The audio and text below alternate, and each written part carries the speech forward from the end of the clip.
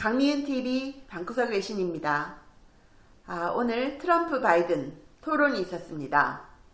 저는 그걸 미국 CBS 방송 실시간 중계로 봤는데요. 쭉 보고 나서 끝나자마자 모든 방송들이 나서서 거기에 대해서 분석하고 커멘트를 하더라고요. 그래서 그 커멘트는 제가 미국 NBC 방송, ABC 방송, 팍스 뉴스 다 봤습니다. 뭐라고 말하나 궁금해서 제가 다 봤고요. 아주 흥미로웠습니다. 토론도 흥미로웠고 거기에 대한 분석, 미국 방송들의 분석도 흥미로웠습니다. 정말 분석 깨나 하는 미국의 그 농객들이 다 나와가지고 트럼프 바이든 토론에 대해서 한마디씩 하는데 아주 흥미로웠어요. 저는 이번 토론에서 가장 하이라이트가 뭐였냐 생각을 하면요. 트럼프가 이런 말 했습니다. 바이든에게. 자, 바이든, 당신이 대통령 되면 앞으로 뭐 하겠다, 뭐 하겠다, 뭐 하겠다 플랜을 쫙 얘기를 하는데 8년 동안 당신은 vice president, 부통령이었다. 그런데 그 많은 시간 동안, 부통, 부통령인 시간 동안 그 일 다 안 하고 뭐 했냐? 그리고 왜 지금 와서 플랜을 계속 얘기하냐? 이렇게 얘기를 했어요. 저는 그게 하이라이트였다고 생각이 들어요. 8년의 시간이 있었는데 왜 일 제대로 안 하고 지금 와서 뭐 하겠다고 플랜을 계속 얘기하냐라는 거죠. 그래서 이 발언에 대해서 미국 방송들도 어 이거는 정말 트럼프가 한 방을 제대로 먹인 거다. 이렇게 얘기를 하더라고요. 그리고 제가 쭉 봤을 때 뭐 결론적으로 누가 이겼냐, 누가 잘했냐 하면 저는 감히 트럼프가 더 잘했다. 이렇게 좀 생각이 들더라고요. 왜냐하면 바이든이 준비는 되게 잘 했어요. 준비된 반격도 많이 했는데 그럼에도 불구하고 바이든은 좀 수세에 몰린 것 같았습니다. 그래서 어떻게 보면 절반의 성공이다 이런 생각이 들었어요. 그리고 트럼프 대통령은 1차 토론 때 계속 끼어들기 해가지고 그 끼어들기로 언론의 질타를 맞았죠. 문매를 맞았죠. 그래서 이번에는 룰이 바뀌어가지고 2분 지나면 뭐 마이크 꺼지도록 이렇게 했는데 음소거 따로 안 해도 적당히 잘 진행이 되었고 그래서 트럼프의 그 말 가로채기에 대한 어떤 기대가 아주 낮았기 때문에 그것만 안 해도 트럼프 대통령에 대해서 뭐 잘못했다라고 시비를 세게 걸 수가 없는 상황이 돼버린 거예요. 그래서 뭐 심지어 어떤 언론은 트럼프가 달라졌다 이런 제목까지 내보내더라고요. 그래서 저는 어, 이번 토론은 트럼프가 역시 우세했다 이렇게 봅니다. 뭐 물론 보는 사람에 따라 다를 수는 있겠죠. 근데 제가 볼 때는 좀 그랬습니다. 그리고 그 쇼펜하워가 쓴 토론에 관한 책이 있어요. 토론을 어떻게 이길 수 있는가 이런 책인데 그 책에서 제가 아주 흥미로운 구절을 발견했습니다. 그게 뭐냐면요. 쇼펜하워 말입니다. 토론은 칼이 아닌 머리로 하는 결투다. 그리고 결투는 반드시 이겨야 한다. 그죠? 공, 공자님 말씀은 아니죠. 토론은 말로 하는 결투다. 그리고 결투는 반드시 이겨야 한다. 어, 멋지지 않나요? 그래서 쇼펜하워가 얘기한 것 중에요. 토론을 이기는 방법. 이게 굉장히 현실적인 조언인데 뭐 그냥 교과서적으로 뭐 이렇게 해라 이렇게 이게 아니고 아주 현실적으로 들으면 약간 깜짝 놀랄 만한 토론 이기는 방법도 있어요. 제가 몇 가지만 말씀드리면 확대 해석하라. 어 이것도 좀 놀랐죠. 확대 해석하라. 그리고 결론을 상대가 예측하지 못하도록 해라. 허를 찔러라는 거죠. 그리고 질문 공세로 상대를 항복시켜라. 또 역발상으로 상대의 의표를 찔러라. 또 이런 것도 있어요. 뻔뻔해져라. 그리고 안개작전을 펴라. 그리고 상대의 견해를 역이용해라. 상대의 의견을 역이용해라. 또 분리할 때는 논쟁을 다른 방향으로 돌려라. 또 이런 것도 있습니다. 궤변에는 궤변으로 맞서라. 궤변에 상식으로 맞서지 말라는 거예요. 궤변에는 궤변으로 맞서라. 그리고 상대가 억지를 쓴다고 큰 소리로 외쳐라 라는 거예요. 어, 너 지금 억지 쓰고 있잖아. 이런 걸 큰 소리로 자꾸 외치라는 겁니다. 그리고 말싸움을 자꾸 걸어서 상대방이 무리한 얘기를 하도록 만들어라. 라는 거예요. 그리고 상대가 화를 내면 거기에 약점이 있는 것이다. 이런 것도 있고요.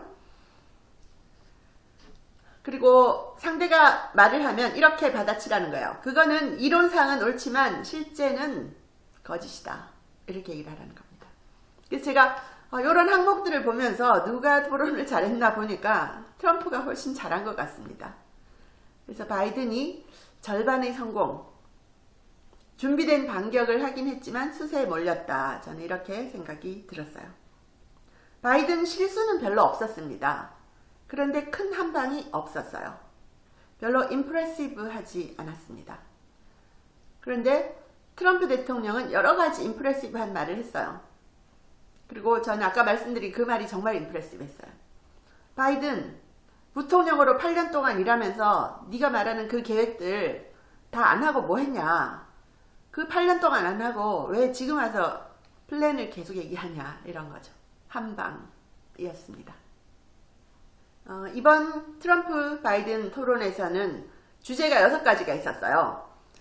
코로나, 국가안보, 미국의 family, 인종문제, 기후변화, 그리고 리더십 이 주제를 가지고 토론을 했는데 이 토론에서는 별로 말 가로채기도 없었고 뭐 네거티브는 있었지만 네거티브 없는 토론이 어디 있어요. 당연히 네거티브가 있죠. 그래서 미국 언론들도 나중에 뭐라고 평가를 하는가 하면 정상인의 정상적인 토론이었다. 이렇게 평가하더라고요.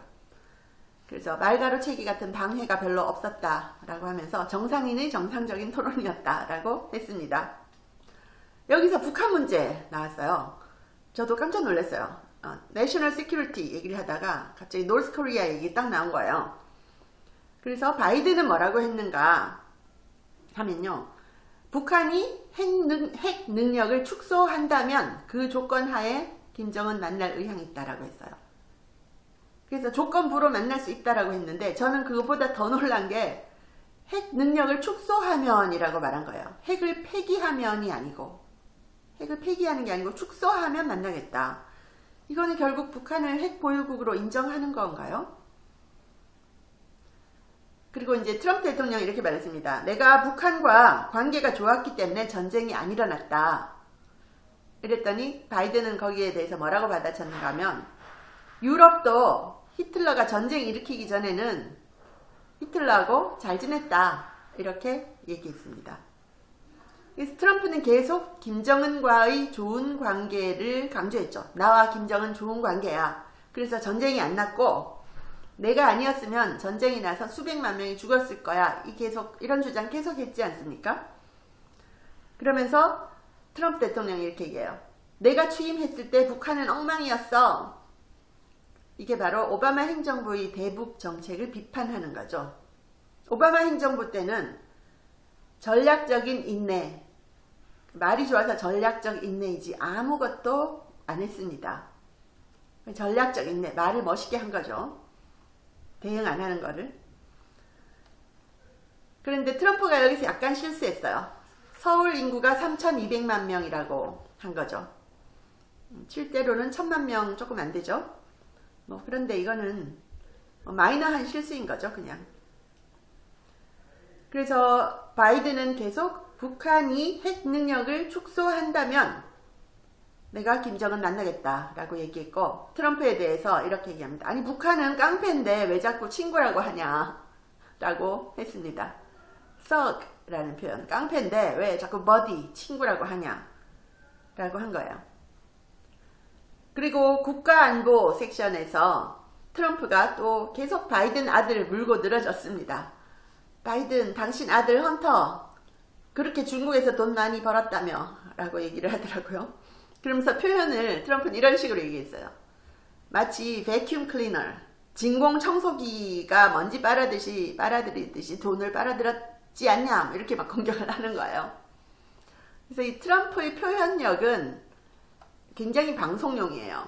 그래서 방송에서 확 시청자들이 볼 때 확 먹힐 만한 그런 표현을 쓰는 거예요.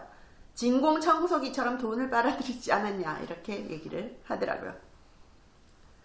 코로나 부분에 대해서도 바이든은 오 20만 명 죽었잖아 계속 강조했습니다. 20만 명 죽었잖아. 그런데 트럼프는 이렇게 얘기했죠. 이거 바이러스 여기 온 거 내 잘못이 아니다. 중국 잘못이다. 중국 때문에 이렇게 된 걸 왜 나한테 그러느냐는 식으로 얘기를 했고 이제 바로 또 맞받아쳐서 당신이 바이든이 대통령 되면 증시 폭락이야 라고 얘기를 했습니다. 그랬더니 바이든이 또 어, 마스크 썼으면 10만 명을 살렸다 이렇게 얘기를 했죠. 그리고 아주 재밌는 표현이 나왔어요. 트럼프가 트럼프 대통령이 와 이제 우리 전염병과 함께 사는 법을 배웠다 이렇게 얘기를 하니까 바이든이 딱 받아쳐서 우리는 전염병과 함께 죽는 법을 배, 배웠다 이렇게 얘기했어요. 그래서 코로나에 대해서 아주 설전이 오갔습니다. 그런데 트럼프는 바이든을 공격할 때 이렇게 공격을 했습니다. 의료개혁? 바이든이 하려고 하는 의료 분야 계획은 사회주의 개혁이다. 그리고 의학을 사회주의화 하려고 한다. 라고 공격했어요. 바이든은 공공의료 선택권 이걸 주장하고 있거든요. 그래서 트럼프가 이걸 공격하면서 오 바이든은 의학도 사회주의로 하려고 해 라고 공격을 하고 있었습니다. 아주 흥미로운 얘기가 많이 오갔는데 트럼프 대통령이 나중에 이런 말도 딱 했어요. 인종 문제에 대해서 얘기를 하면서 와, 저 이때 놀랐는데 I'm the least racist person in this room. 내가 이 방에 있는 사람들 중에서 가장 인종차별을 덜 하는 사람이야 라고 얘기를 했거든요. 근데 사회자가 흑인 여성 앵커였잖아요. 그래서 나중에 미국 언론들도 이 발언에 대해서는 와 트럼프가 그런 말을 하다니 진짜 놀랐다 이런 말을 하는 거예요. 저도 그 말을 흑인 여성 앵커를 앞에 딱 두고 내가 이 방에 있는 사람들 중에 가장 인종차별 덜 하는 사람이야 라고 얘기해서 저도 깜짝 놀랐어요. 그러면서 역시 트럼프가 참 멘탈 갑이다 이런 생각도 했습니다.